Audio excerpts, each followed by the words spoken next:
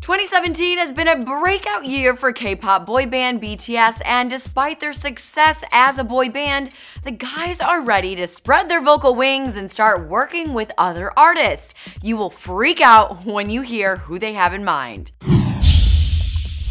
Now, this musical magic is something I can get on board with. Hey guys, I'm Madison Conklin, and for all the latest on BTS and your other favorite musicians, make sure to subscribe to our channel right now because 2018 is looking even wilder than 2017 for BTS. The boys made their first ever US TV debut at the American Music Awards and absolutely, without a doubt, 100% crushed the ever living life out of it. I'm talking fans were crying, Ansel Elgort looked like a kid in a candy store everyone was living for BTS. So it's clear the guys can make success on their own as a group and have so much more music to produce for their fans as BTS.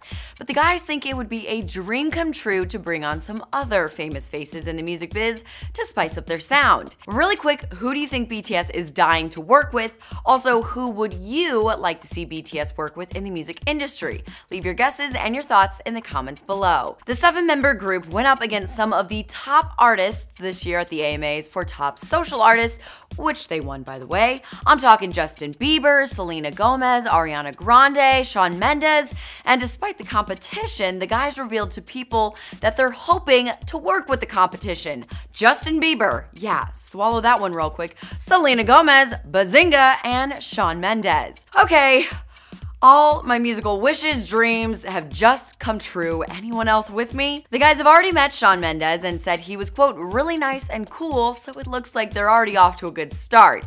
And with this information out in the universe now, does this mean a possible collaboration is in the works for BTS and these musicians? Sadly, that information has not been confirmed, but the year is almost over and a new year is beginning. So to start off 2018 with a bang, I'm thinking a collaboration will definitely be happening.